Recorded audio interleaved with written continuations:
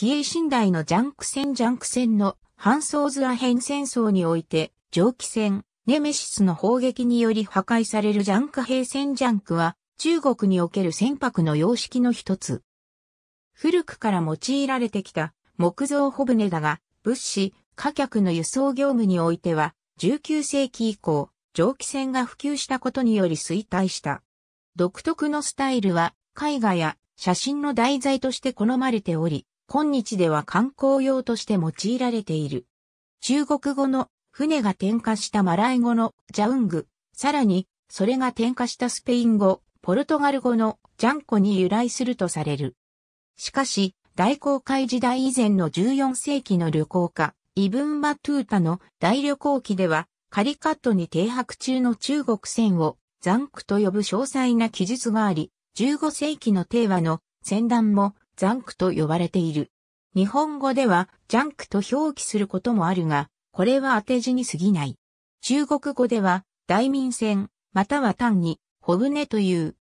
船体中央を支える構造材である流骨がなく、船体が多数の量と呼ばれる水密隔壁で区切られていることによって、喫水の浅い海での航行に便利で大破性に優れ、速度も同時代のキャラック船、キャラベル船、ガレオン船と比べ格段に勝った。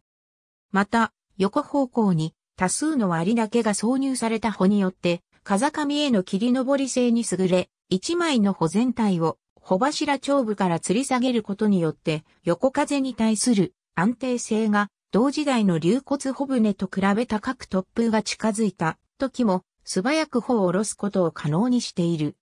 ホゲタをクレーンとして使った西洋帆船は戦争を深くすることができたため、船体構造物は上に伸びるように発達したが、ジャンクにはその機能がなかったため、戦争の深さに制限があり大型化とともに横に平べったくなっていった。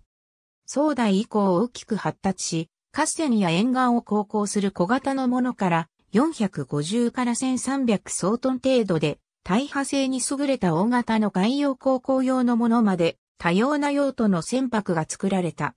10から18世紀に使われた大型ジャンク船は600から2000トンで交易用に荷下ろし用の機重機や採集と呼ばれた浅瀬で用いる小舟などが搭載された。乗組員数は100から200人。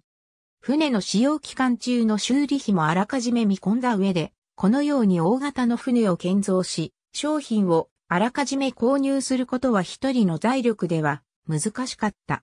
そこでパートナーシップ選手制が取られ、船員が船の株を持つことも多かった。船長は共同出資者を代表し、航海と取引の一切を取り仕切った。船長は11から14世紀頃には、綱首、17から18世紀には、泉と呼ばれた。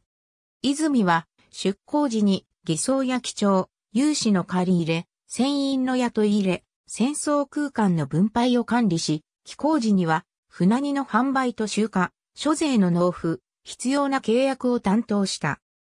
船員は職能に応じて、財服、総監、高校、課長、家事校、横領、アハン、頭怒り、押し子、宝酒、水酒などと呼ばれた。秋夜には、帝和によって遠征航海が行われ、セイロン、アラビア半島、アフリカ大陸東岸などに到達した。ジャンクによる海洋交易網は、壮大以降発展し、広州、泉州などを中核に、東シナ海、南シナ海、インド洋にまで張り巡らされ、中国の経済発展に大いに貢献した。ありがとうございます。